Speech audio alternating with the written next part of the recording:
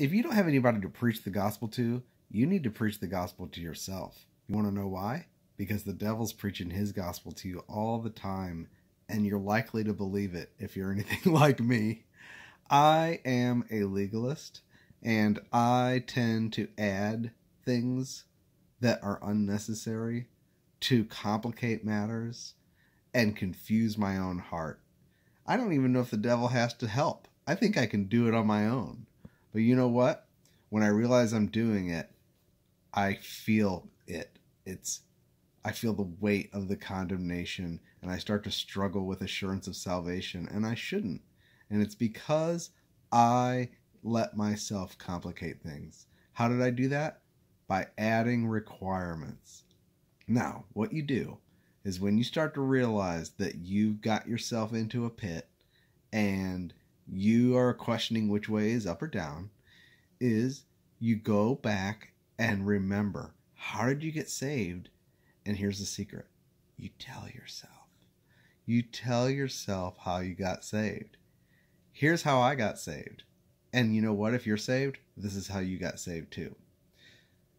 One day, you believed that Jesus died on the cross for your sins and that God raised him from the dead.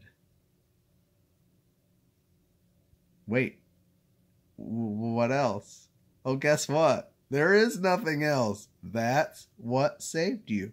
The message came announcing that Jesus, the Son of God, in whom the Father is well pleased, the beloved Son who lived his life fully for the Father's satisfaction and lived a completely righteous, spotless, and sinless life, offered that life up on the cross because he loved you and he loved me and he loved every other human being alive. And his blood was a satisfactory atonement for the sins of the world to make peace with God on our behalf. And God accepted that blood as payment for my sins and your sins. Now, we believed that at some level as maybe even more simply we just believed he died on the cross and his blood is the way we get to go to God. That's it. You don't need a theological degree and you don't even need to be a dispensationalist or a covenant Calvinist to believe that. You can be a five year old and believe that, and it's okay. And you know what? We need to learn to think about it like a five year old. A five year old just says, Thank you. That's actually no, a five year old doesn't say thank you. A five year old just takes it and goes on and takes it for granted. You know who's actually pleased when the five year old takes the gift? Not the five year old, he doesn't even know what he's got.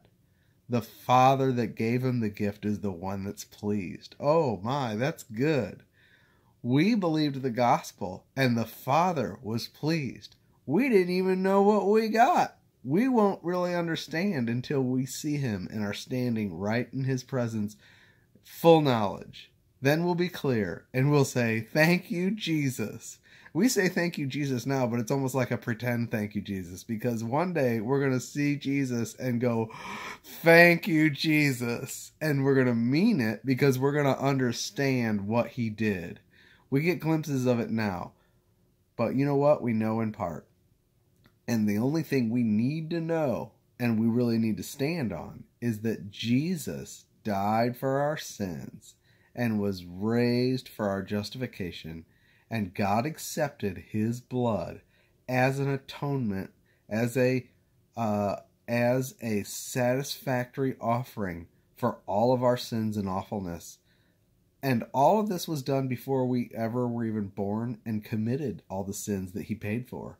So that means that all of my future sins are paid for by the blood of Jesus.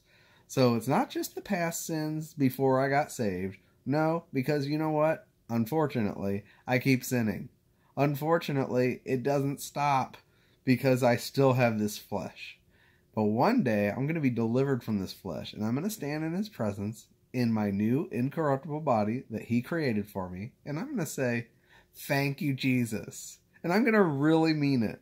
Right now, the Father's the one saying, Thank you, Jesus, and really meaning it. And we're saying, Thank you, Jesus, and kind of pretend meaning it. But when we get to see Him face to face, we're going to mean it. Thank you, Jesus.